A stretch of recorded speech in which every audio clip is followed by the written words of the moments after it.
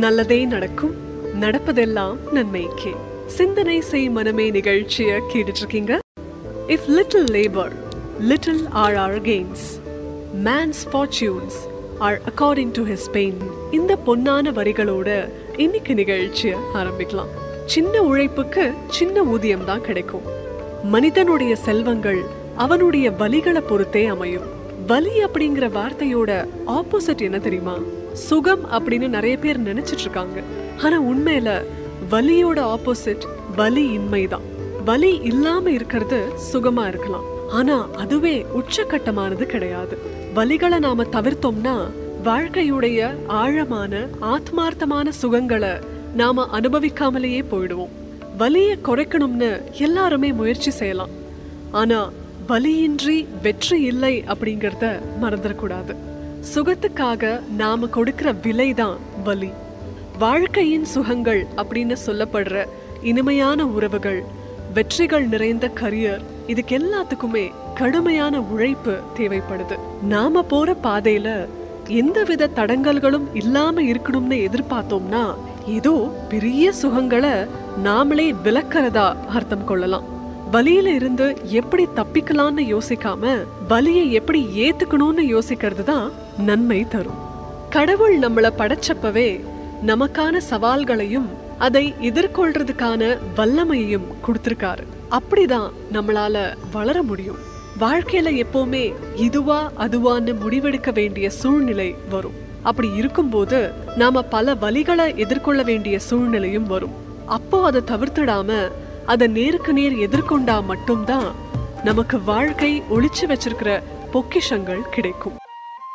கவலை நம்மை சில நேரம் கூறு போட்டு துண்டாக்கும். தீயினை தீண்டி வாழும் போதே தீபத்தில் வெளிச்சம் உண்டாகும். கடலை சேரும் நதியாகும். தன்னை தொலைத்து உப்பாகும்.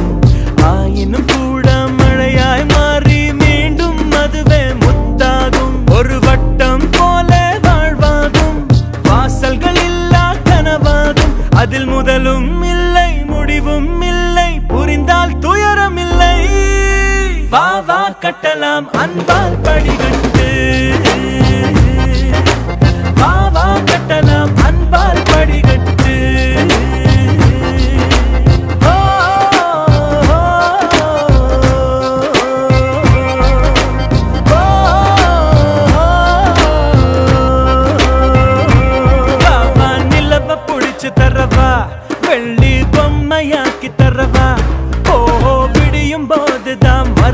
போகுமே கட்டி போடு மெதுவா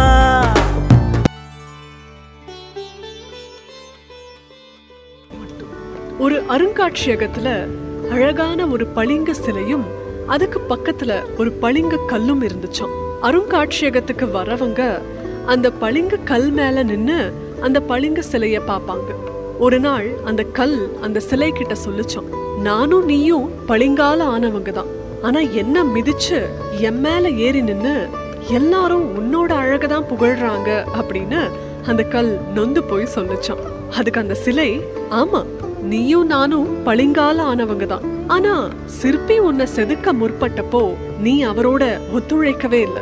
சரியான உருவம் உருவாக நீ உதவ மறுத்துட்ட. ஆனா நானும் சிற்பியின் ஒளி எப்படி கேட்டுச்சோ அப்படியே ஆன.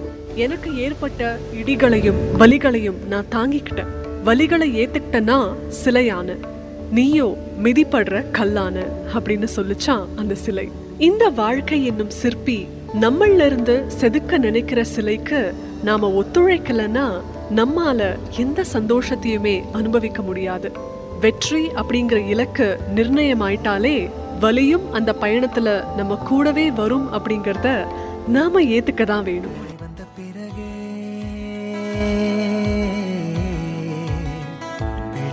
கடலை.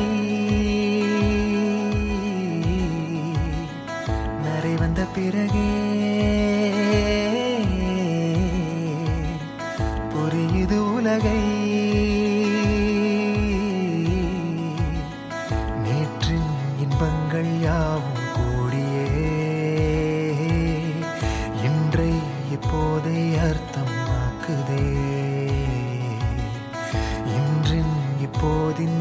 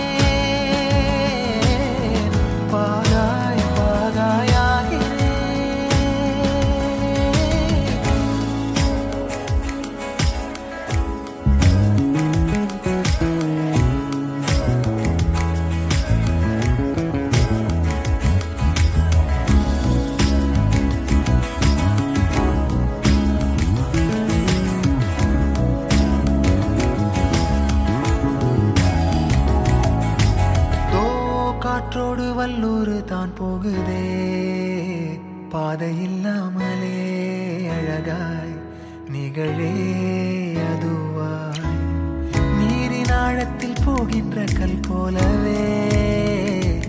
ஓசையெல்லாம் துறந்தே காண்கின்ற காட்சிக்குள் நான் மூழ்கினேன். திமிலேறி காலை மேல் தூங்கும் காகமாய் பூமி மீது இருப்பேன். புவி போகும் போக்கில் கையில்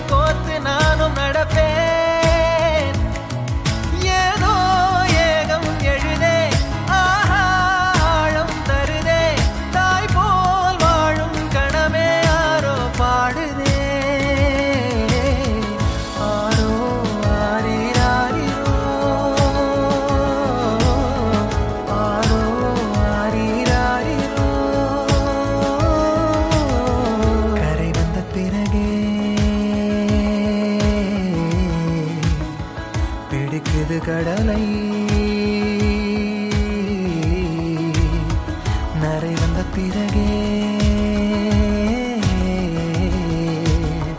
புரியுது உலகை.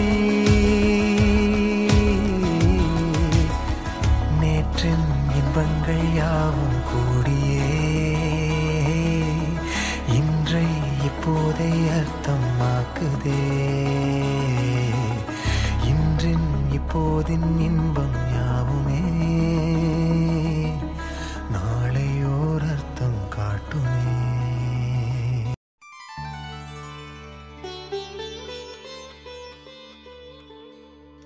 தெய்வங்கள் கிட்ட இருந்து வரத்தை வாங்கறதுக்காக முனிவர்களும் அசுரர்களும் தவம் மேற்கொள்வாங்க. மிக கடுமையான சோதனைகள் வேதனைகள் வந்தாலும் அத்தனை வலிகளையும் தாங்கி அவங்க நினைச்சத அவங்க பெறுவாங்க. வலியை ஏத்துக்கிறது தான் ஞானத்தின் பாதை. வலிய பொறுத்தே பலனும். அதிக வலி அதிக பயன். அலை கடுமையா இருக்குன்னு கப்பலை செலுத்த மறுத்தா நாம போக வேண்டிய இடத்துக்கு போக முடியாது. உண்மை கசக்கும். சில சமயம் வலிக்கும். அதையும் நாம ஏத்துக்கணும். வலியின் உள்ள ஒளிஞ்சிருக்கிற சுகங்களை நாம தேடி எடுக்கணும். வலிய பார்த்து பயப்படக்கூடாது. வளர்ச்சி அடைய வலி நிச்சயமா துணை நிற்கும். இந்த நல்ல கருத்துக்களோட இன்னைக்கு நிகழ்ச்சிய நிறைவு செய்யலாம். இந்த நிகழ்ச்சியில நீங்க கேட்க விரும்புற தலைப்புகளை எனக்கு நீங்க சொல்லலாம். மீண்டும் சந்திக்கும் வரை நல்லதே நடக்கும். நடப்பதெல்லாம் நன்மைக்கே.